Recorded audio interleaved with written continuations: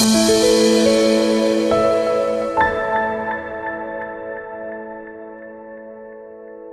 this is Jim Colton from GraphPad. In this video, I will demonstrate the new features added to multiple t-tests in PRISM 9. This procedure was developed to make it easier and faster to carry out multiple t-tests. For this analysis, you need two columns and multiple rows of data in a grouped data table. A t-test is performed on each row.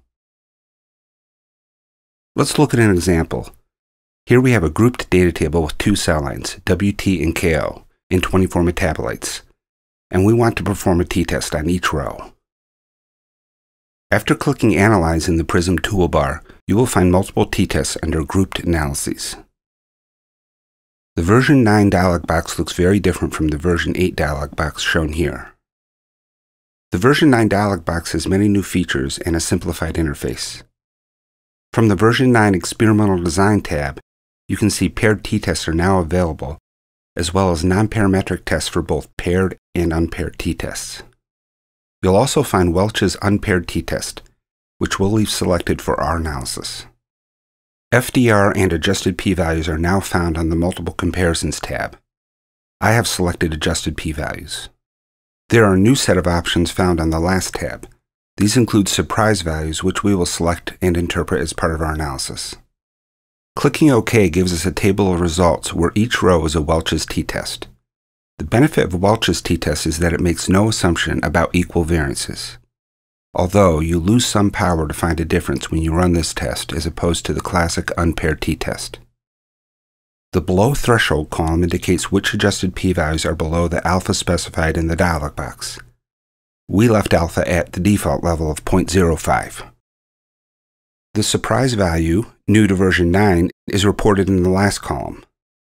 The easiest way to interpret the surprise value is to first round it off to the nearest integer. For example, with metabolite E, we would round this surprise value off to 6. This value tells you how unusual the corresponding p-value is in terms of a binary event like tossing a fair coin. Imagine tossing a coin six times and getting heads each time. This is about as unusual as observing a p-value as small as metabolite E's by chance alone. Note, metabolite E's p-value is 0.0167. Now let's run the classic t-test on each row. This test assumes equal variation for the two groups in a given row. These t-tests have slightly more power, but yield the same results with these data.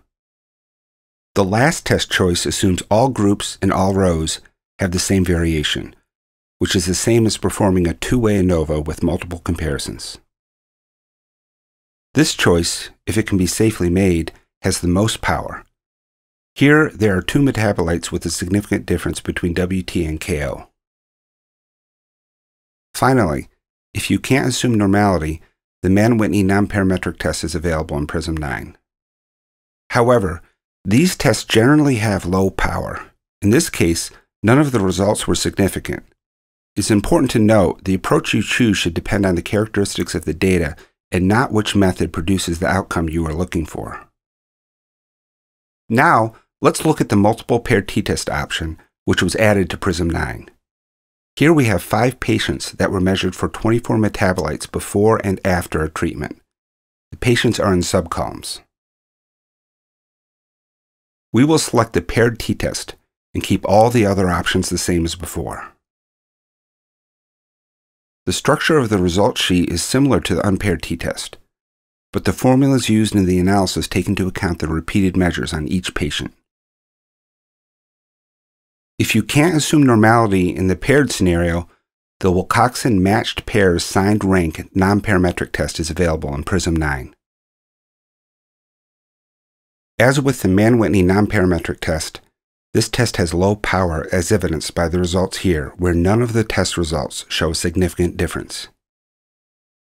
In summary, PRISM 9's multiple t-test procedure can perform both paired and unpaired t-tests and includes nonparametric options for both, as well as additions such as Welch's t-test for when variances are unequal and surprise values which provide a whole new way to interpret p-values.